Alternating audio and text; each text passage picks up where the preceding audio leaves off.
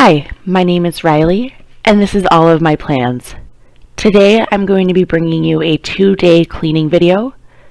As always, my cleaners can be found at Dollar Tree and Target. I'm also throwing in a little bit of food prep in this video, so let's get started.